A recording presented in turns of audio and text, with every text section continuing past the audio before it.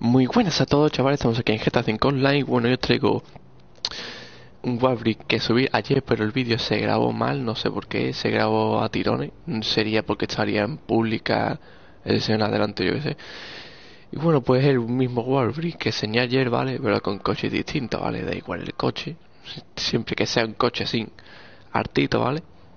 Y bueno, pues la localización es esta, ¿vale? La comisaría es en este puentecito en este puente y la comisaría es esta, ¿vale?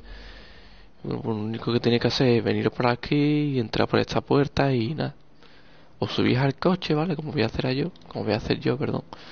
Por aquí nos apoyamos la pared, al R1, y aquí le damos al cuadrado.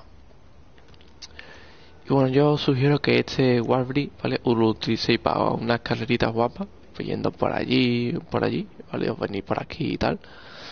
Porque si utilizáis para matar a gente, os van a pillar y os van a banear o van a denunciar los, otros jugadores y tal, ¿vale?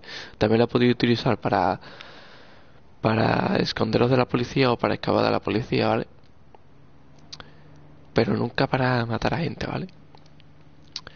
Hombre, también sirve para si estáis haciendo una misión y tenéis mucha policía, ¿vale?